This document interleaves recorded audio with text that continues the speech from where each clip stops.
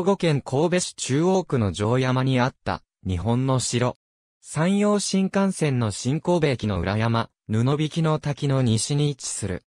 新神戸駅の裏山兵庫県神戸市中央区の城山の標高は316.5メートル、飛行は約250メートル。開発が盛んな神戸の地にあって、移行の状態は良好で30以上の車群、堀切、土塁などが残っており、戦国時代の姿がそのままの形で残っている貴重な定石である。また定石へは、山陽新幹線の新神戸駅より左に登っていく、ハイキングコースが整備されている。竹山城の歴史は大きく、赤松市時代と戦国時代に分けられる。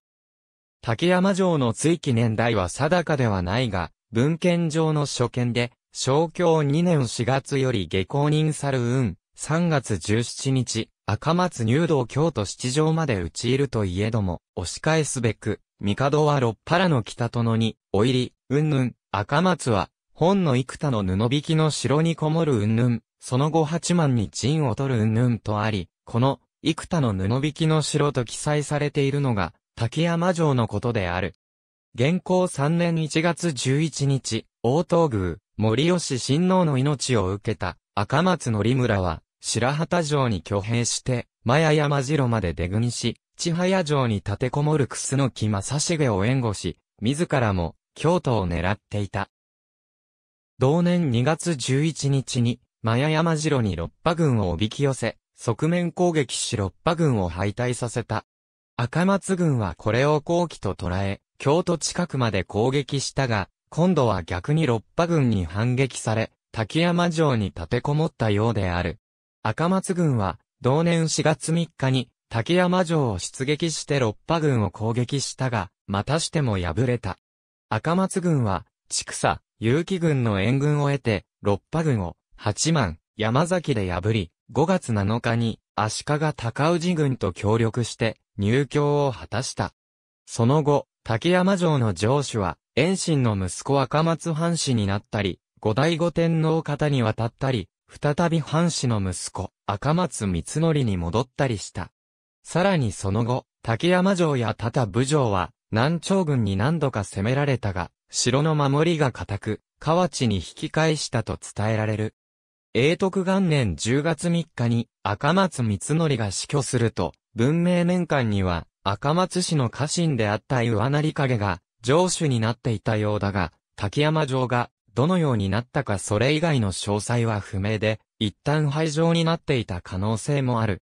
松永久秀が増現在の滝山城に改修したのは松永久秀で、三好長慶が二施設の拠点として家臣の松永久秀に明治大幅に改修させている。細川良家記によると、工事2年7月10日に久秀は長慶を堺から滝山城に招き、株音玉、先駆音玉、脳でもてなしたという記載が見受けられ、この頃が滝山城の全盛期で、腰水城も市場としていたようである。永禄7年7月4日に、長慶が死去すると、滝山城の運命も大きく変化する。後継をめぐって、三好三人衆と久秀が争うことになる。滝山城の戦い三好長慶の死後、後目は、老いの三好義継となったが養子ということやまだ幼いこともあって、後見に、三好三人衆と共に重臣であった、松永久秀がなった。長慶の死後、三好氏が弱体しているのを察知した室町幕府十三代将軍、足利義輝は、役職を与えるなどして、幕府の権威回復に力をつけてきた。これに、危機感を覚えた三人衆は、将軍暗殺を計画。永禄8年5月19日に、義輝を討ち取るという大事件が発生した。三好政権の障害となっていた義輝を排除したものの、これ以降三人衆と久秀との間で、政権内の主導権争いが顕在化していく。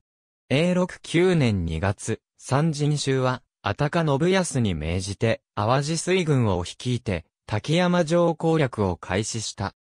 この時の首相は不明であるが、城の守りは、非常に固く11名の首を打ち取っただけで兵を引いた。その後しばらくは、膠着状態が続いていたが、アタケ軍に、三木市、明石市、絹笠市などの播磨勢の援軍が到着、水の手を切り同年8月17日総攻撃を仕掛け、ついに落城させた。廃城その後三人衆方であった、篠原長房が城主となったが、織田信長が、永禄11年9月28日に三人衆の一人、三好長一が立てこもる芥川山城を落城させると、篠原軍も滝山城を放棄した。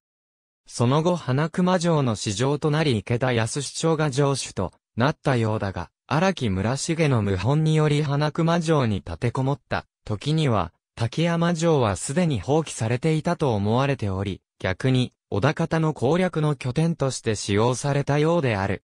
花熊城の落城を最後に、滝山城の記録に現れてこないため、花熊城の落城と同時期に約260年の歴史に終止符を打ったと推定されている。滝山城の城郭は主に3つのブロックから成り立っている。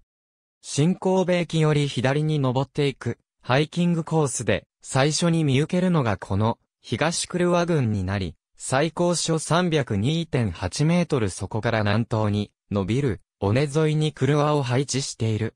当時の大手通りもこちらからと推察され、最高地を本丸と見立てこの東黒和郡だけで、独立した城郭として機能した可能性もある。またこの東黒和郡の最高所には、櫓平式、建造物の可能性も考えられる。中央黒和郡の最高所は316.5メートルで、こちらにも櫓平式ものが推定でき、現在は、史跡滝山城市という石碑が立っている。また、東黒和軍との間には堀切りがあり、尾根沿いからの来る侵入者を防ぐ。また、西黒和軍との間にも、堀切と土柱式ものが確認できる。最高所から南東及び北東に伸びる、尾根沿いに黒和軍が構えられている。本丸跡からの長坊土橋西黒和軍の最高所は318.9メートルで、中央クルワ軍の背後になるため、山方面からの防御機能として備えたらたと考えられる。西クルワ軍と中央グルワ軍間には二重堀切りも確認できる。また、西クルワ軍は大幅な改修はされず、南北朝時代からそのままの形で残った可能性も指摘されている。三好長慶を堺から滝山城に招き能でもてなした場所はかなり大きな施設が必要であったと推定される。記録上では、詳しい記述は残されていないが、徳光院及び、神戸第一高校周辺が平坦地の館として考えられている。登山入り口にある案内石碑。ありがとうございます。